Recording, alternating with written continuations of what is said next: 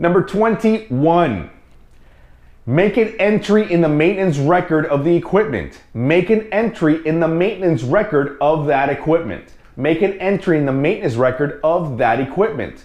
What is the maintenance recording responsibility of a person who com- complies with an airworthiness directive? It is their responsibility to make an entry in the maintenance record of that equipment. Make an entry in the maintenance record of that equipment.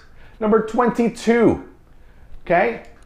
The second one is true. So an FAA publication such as, such as a technical standard order or airworthiness directives, type certificate data sheets, and aircraft specifications and supplemental certificates are all approved data.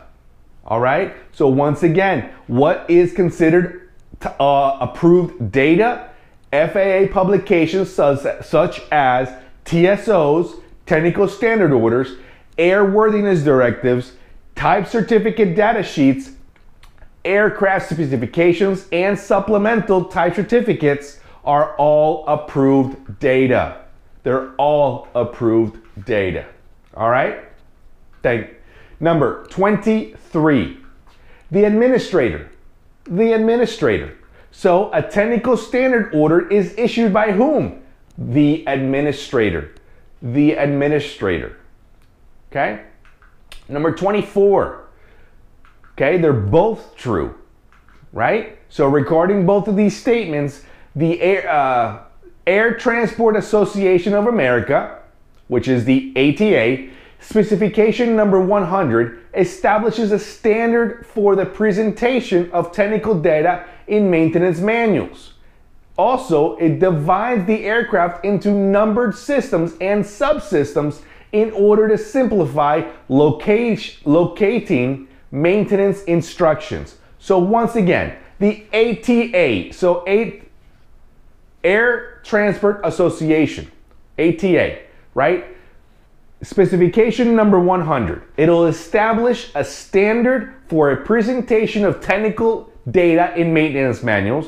So when you're looking at your maintenance manuals, you will notice a whole bunch of different numbers on the left hand side, right? So you got 5, 6, 7, 8, 9, 10, 11, 12, 32, 30, uh, 33, okay? And it'll tell you that universally you have uh, fiber inspections, right? Six is uh, dimensions and locations, right? Uh, you have uh, 12 is servicing, uh, 33 is lights, you get the drift? 32 landing gear. Okay? That's exactly what we're trying to say. The ATA specification 100, it'll establish a standard for presentation of technical data and divide the aircraft into numbered systems and subsystems in order to simplify, simplify location of maintenance instructions. 49 APU, 70, uh, 70, 71 is uh, aircraft engines. All right? Let's continue on here.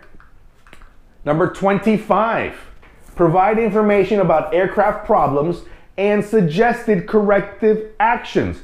Provide information about aircraft problems and suggested corrections actions. So, an aviation maintenance alert formerly was known as general aviation airworthiness alerts now they're considered aviation maintenance alerts. They provide information about aircraft problems and suggested suggested keyword suggested corrective actions. So are they mandatory?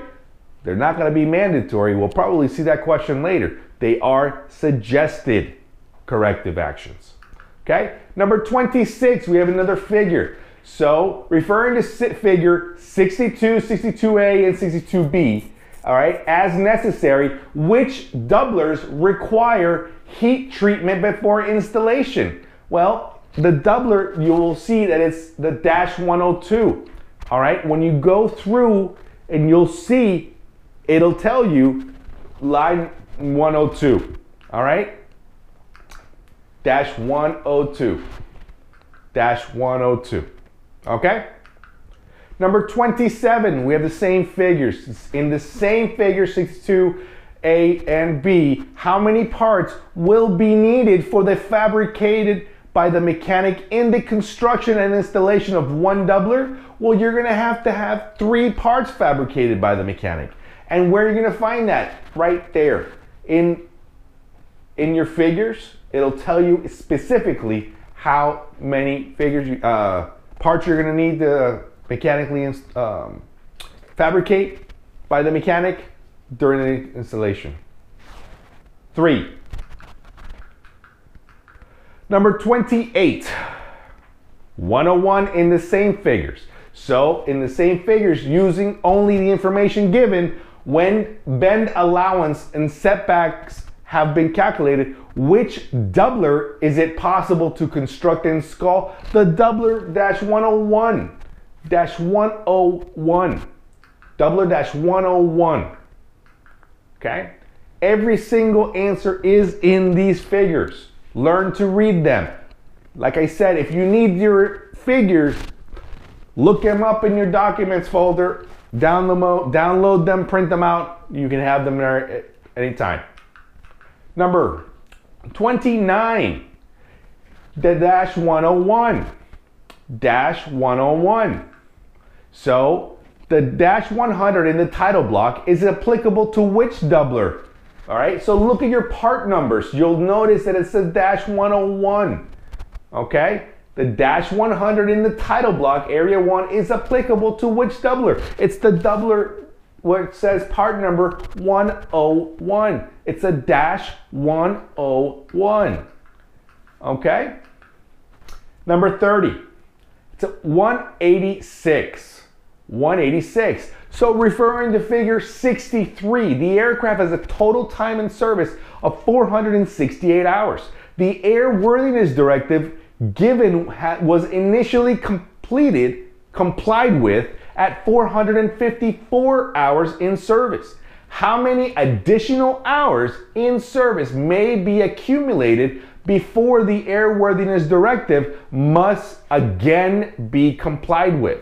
So if you notice here, it'll tell you that the air AD, the airworthiness directive, needs to be complied with a certain amount of time and then repetition again and again during another certain amount of time. Well, if it's already been complied with at 454 hours, it will be due again in another 186 hours. 186 hours. All right, guys, take another quiz, and I'll see you soon.